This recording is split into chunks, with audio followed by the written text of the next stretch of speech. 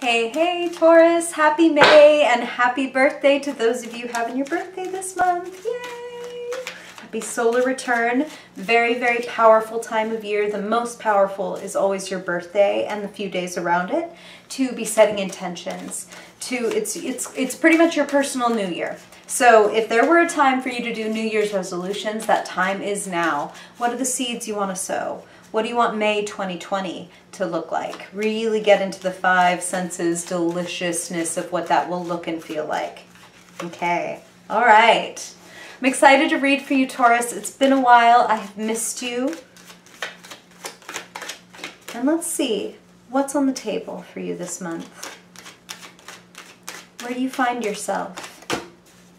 What are the possibilities? What are the potentials? What are the pitfalls? What do we need to know, Spirit? Who are the characters? What are the energies for Taurus, Sun, Moon, and Rising in the month of May? Their past and present actions and the future that that is leading to. What do they need to know?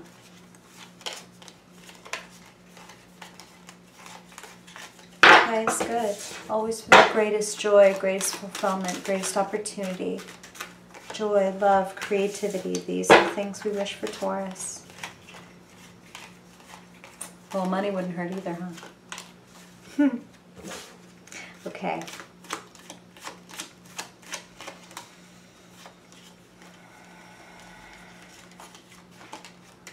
All right, all right.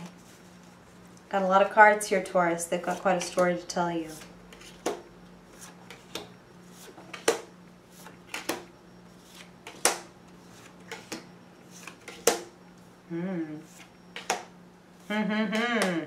To explain.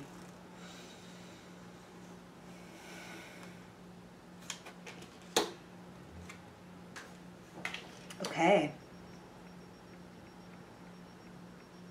Okay. Taurus, I don't usually need to tell you to be patient, but you may need to be a little patient this month. You might feel like snapping at somebody. You might feel like writing a quick email, a quick text, firing off a quick message. Um, but Spirit is actually advising you to lean into what is your natural personality, which is to wait, rest, be still. Four of Swords is crossing that Knight of Swords that is you rushing in where angels fear to tread. Now, here's the thing.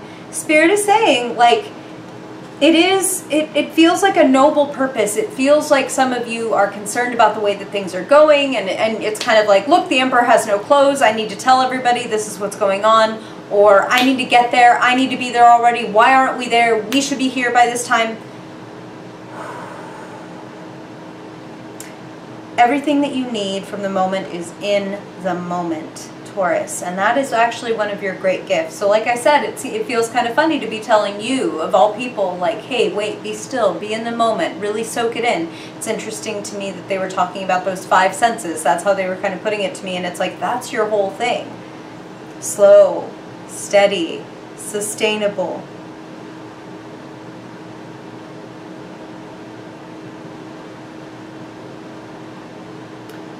this thing that you want this thing that you might be a little impatient for, this thing that you might be uh, rushing forward on. It's like they said that what you need from the moment is in the moment. What you want is very possible, very much has legs, but it re will require you to remain a little bit more of a student. You may, like I said, want to rush ahead and get to where you feel like maybe you feel late, maybe you feel off path, and you're like, oh, if I just flip over my whole life right now and do everything really different and really fast. Chill. Enormous potential here. Enormous potential. You have the Page of Pentacles sitting in the position of what is like sort of unconscious, what is beneath your notice, that the seed is ripe. The message is there. And what's sitting in the position of the possibilities? The Knight of Pentacles the slow, steady change that you're looking for, the sustainable growth, the additional security, additional money.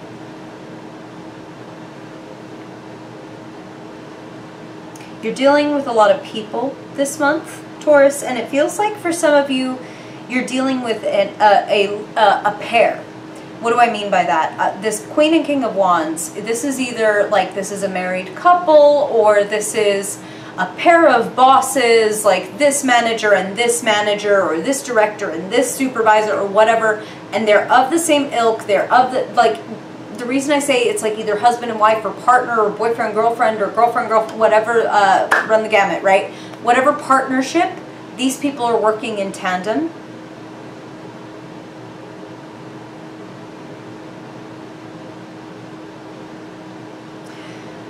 And you don't want to try to bullishly overcome them.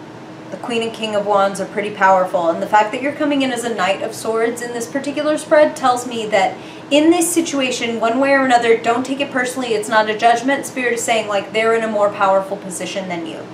Meaning, maybe you're, you know, new at this job, or maybe um, you just started working for the whatever. Like, there's a situation where you don't want to try to, like, you don't quite have the leverage that they do, so you want to be very measured and be patient. Again, just like you're good at. Something you were actually, I love it, I hadn't even noticed this yet. Sitting in the position of where you find yourself, talk about being patient, High Priestess, there is more information yet to be had. Very much matches with that Four of Swords energy crossing your reading, saying, wait, rest, recover. You actually need to let your mind be really clear like the you know the knight of swords is rushing and kicking up all this dust and the four of swords is saying hey wait we need the dust to settle before we can actually see what the path is looking like because maybe if we're kicking up all this dust and all this conflict and saying all these words and it's a flurry of messages and texts and there's no inflection and there's no context that way maybe we're kicking up a whole lot of dust and we're not noticing that we're placing a big fucking obstacle in front of ourselves and we're going to bash into it if we're not careful. Feel me and you're a bull, you can bash in, you'll bash through, you'll probably be fine. But maybe you'll wreck the whole China shop along the way, and you know, maybe you like that China, or maybe you want this job or this relationship to continue. So, Spirit's advice to you is to be a little suave, to be intuitive, to be compassionate, to be still very interesting to me because they're pointing out loud and clear, like I said, the King and Queen of Wands are associated somehow, are in some way a pair or a couple. And they're asking you to step more into that Queen of Cups, which is, again, in very in line with the High Priestess, very in line with the Four of Swords. The Queen of Cups knows that when the waters are churning, we can't see our reflection and what makes the water churn is the wind, which are, you know, the wind is the mind, the air element, our thoughts, Knight of Swords, swords are the air. So it's in getting still and letting the water become as reflective as glass that we can see, oh, this is how I can actually operate within this situation. Because they're telling me, Taurus, you have what it takes this graduation from the Page of Pentacles to the Knight of Pentacles tells me that, but so does the Wheel of Fortune sitting in your past. Some of you have made a big jump, like you've just moved. Or again, it's like you've moved to a new place. Maybe some of you, this pair is like, oh, these this is the landlord or something like that. But it's like you've made a big transition. So maybe you're in a little bit of unsteady ground or new ground. I don't want to say unsteady. It doesn't feel that way. But like I said, maybe somebody else has a little more leverage than you. So you want to be subtle you want to be intuitive. You want to see through any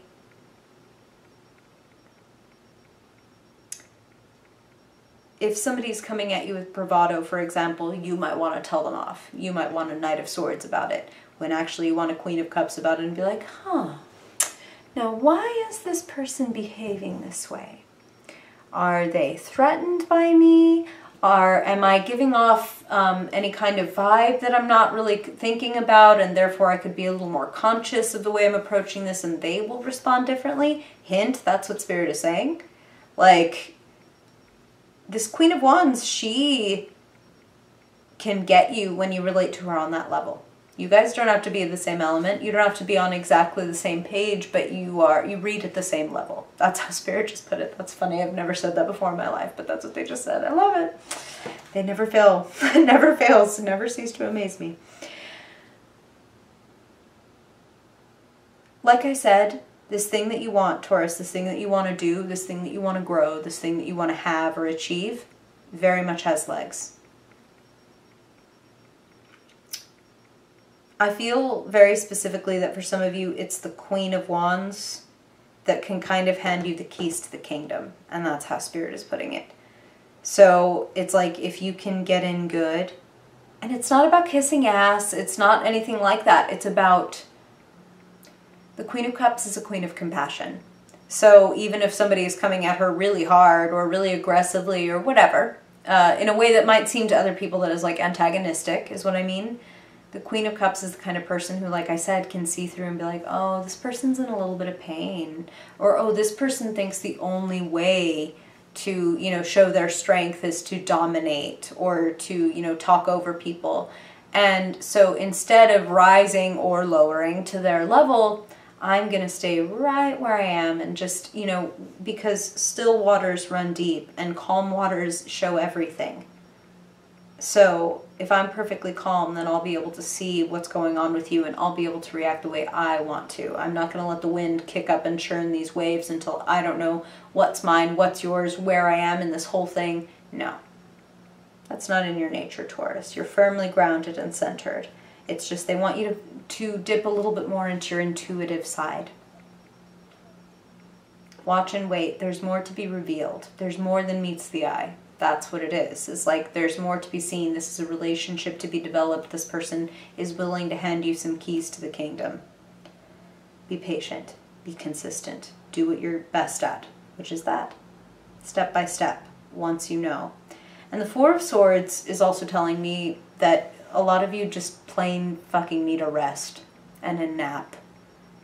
Like, let's clear the decks, Taurus. Let's clear your calendar at least a couple days of, of this month and maybe sit down and rewrite your routine to give yourself a little more time and space, a little more meditation or journaling or just a nap, just a walk outside in nature to reground, refresh, revitalize. I didn't intend, but then I'm totally going to continue the re theme and say rebirth. You have the judgment card there's a release.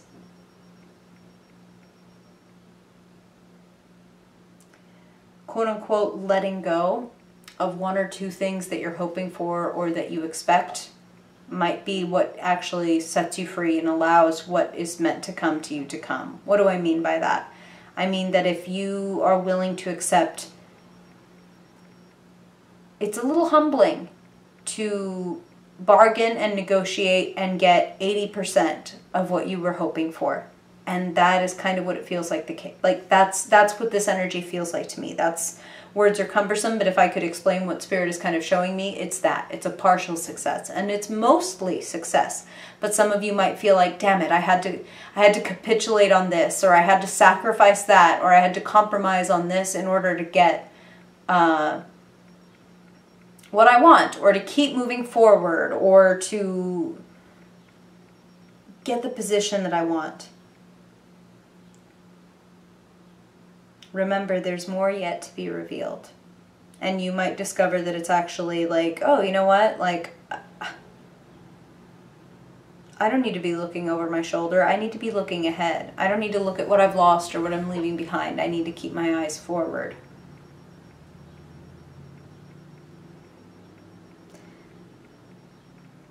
There's a bit of an awakening happening with you in May. It's the start of a new life in a way, and I know that sounds big, but that's what it feels like with Wheel of Fortune in your past and Judgment sitting as, as the concluding card, you know, the key to this whole thing. It's an awakening. Be in the moment because you can't wake up unless you're in the moment when you're getting woken up. If you're trying to run 10 years in the future, 10 minutes in the future, you might miss the signs that Spirit is sending you in the moment. Patience, Taurus. This is a level up. This is a power up. This is a reawakening. This is moving up the chain from knight to queen with a little calm, a little reflection. It's a power up. I love it, Taurus. You're going to know what to do. You're going to know when the wake up call comes and what you're meant to say and do and what the change that you're meant to make is.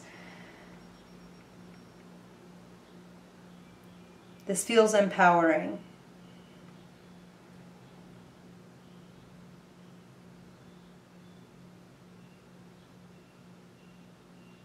Yeah, anything that you might be feeling in the dark about, they're telling me by the end of May, by the end, and I'm going to say by the end of May, early June, because they're kind of giving me like a three week, three week number.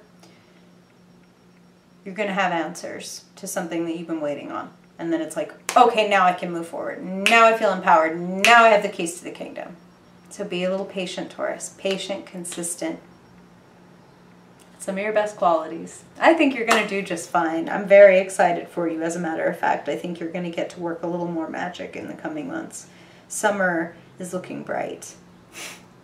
Thank you for listening, Taurus. I really hope this is helpful for you.